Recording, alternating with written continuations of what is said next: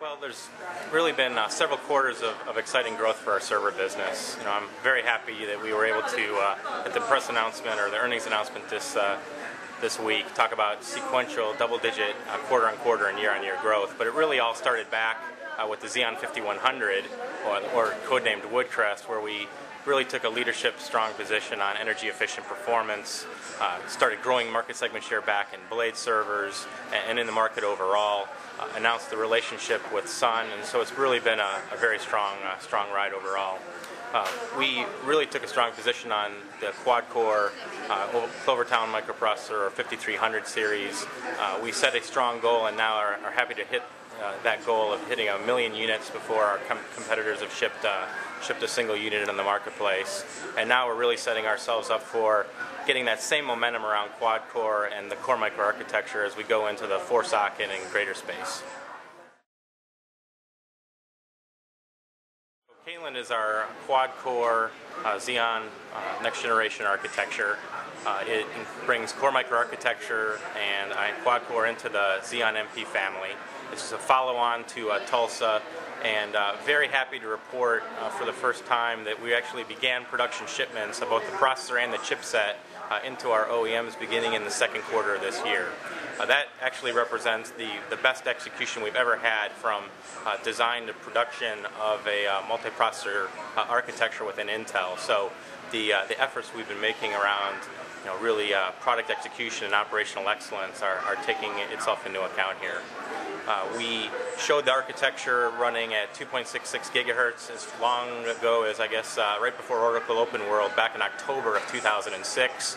We were running real applications then we showed the architecture at Computex, at HP's Tech Forum and, and other forums. So that uh, momentum and, and, that early silicon success is, is already now into uh, production into our, our OEMs.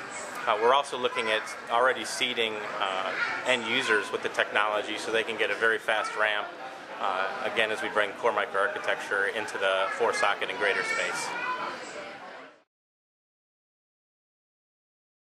The platform has been codenamed uh, Caneland. It includes the microprocessor Tigerton, which is our first quad-core microprocessor for the Xeon MP space. Um, we're very excited because we're bringing the core microarchitecture into this design uh, for energy efficient performance. Uh, we've delivered a balanced platform. We're moving to uh, fully buffered DIMM memory. Uh, we're moving to four dedicated high-speed interconnects uh, connecting these uh, four core processors. And what that means is, is since the execution's gone really well, we're actually going to be able now to double the performance of the previous generation of, of Xeon MP with nice headroom going into the future with, with future microprocessors that'll plug directly into these sockets as well. So there'll be investment protection as we move forward on this new platform design as well. If you look at uh, from an energy efficiency perspective, uh, the processor will also deliver some some brand new things to the industry. We're going to be able to uh, get down to a 50 watt envelope on the microprocessor. It'll be the first time we've been able to do that in the industry. Um, that means we'll deliver up to two times the performance per watt of the previous generation as well. So uh, the execution engine's gone well, the performance looks good, and the energy efficiency looks good. Uh, what that means is we'll see uh, a brand new set of blade designs from some of the larger uh, OEMs in the world as four socket now becomes uh, more mainstream in, uh, in one of the fastest growing segments of the server market, blade computing.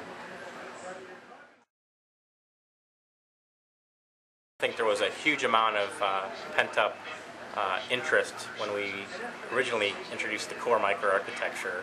And I think that many uh, enterprises were in kind of a wait-and-see mode if the energy-efficient performance claims were, were true. And, and we obviously have shown uh, huge amounts of performance and the fastest ramp of Moore's Law uh, in the history of servers in, in 2006. And so what I'm hearing is that that same kind of anticipation is coming for the four-socket space. Uh, we're delivering the quad-core and core microarchitecture. People have seen what is, is happening uh, in the dual-socket space with this momentum shift and, and uh, you know, very good progress with, with Intel in delivering uh, real customer value there. And we think that that same customer value is going to now be delivered into the uh, four-socket and greater space.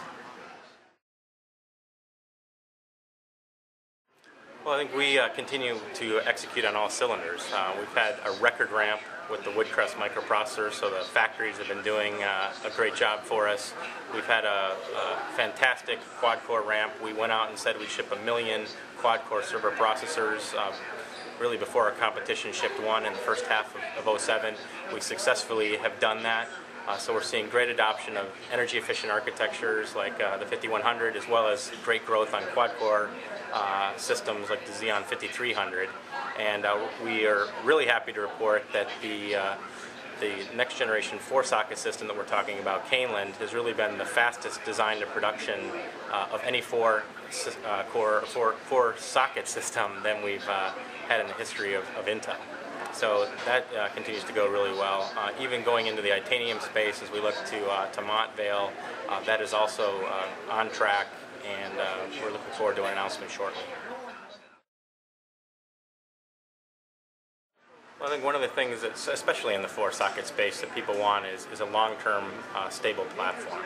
And so, um, just like we have uh, on the Xeon dual socket family and on Itanium, we're delivering multi-generational compatibility in the same platform. So you should expect in the 2008 platform, after we've announced uh, the, the, uh, original Caneland platform and the, and the Xeon 7300 microprocessors on quad core um, and the core microarchitecture, this platform will uh, seamlessly be able to drop in our next generation 45 nanometer uh, four socket products as well. So we're delivering investment protection uh, not only you know for customers buying the processors today, but uh, enabling an upgrade path uh, in 2008 as well.